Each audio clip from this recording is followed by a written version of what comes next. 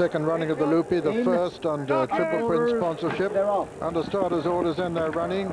And Rapid Repeat is the first to show. Rapid Repeat going on from Yawl in second. Then on the inside comes Upper Mount Clare in third. In fourth, rather. Going up on the outside now is Jisan with next seasonal splendor. Little gap then to Hazy K, and finally the Royal Colours on Zenith, and, and now Yawl has gone to the front by two.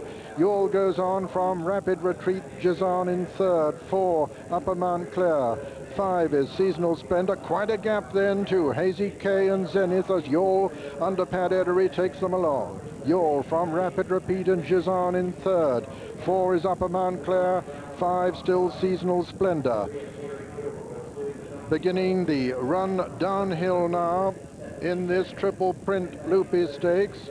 And still the leader is Yawl from Rapid Repeat with behind Rapid Repeat Jizan. Behind uh, Jizan is Upper Mount Clare with making a little bit of ground in Seasonal Splendor. Zenith comes next and Hazy K the grey is the back marker as they run downhill towards the home turn with Yawl still the leader from Rapid Retreat and Jizan showing their third still in it with our white face but Yawl still with the advantage from Rapid Retreat Jizan then comes Upper Mount Clare behind Upper Mount Clare Seasonal Splendor Zenith trying to get closer Yawl being pressed now by Rapid Repeat and looking for room is Jizan but it's Yawl still with the advantage from Rapid Repeat then Jizan in third then Upper Mount Clare as they come down to the two furlong marker and Yawl still the leader having made most of the running so far. Jizan coming there to challenge on the outside still plugging on his rapid retreat behind them seasonal splendor. Jizan coming to challenge Yawl now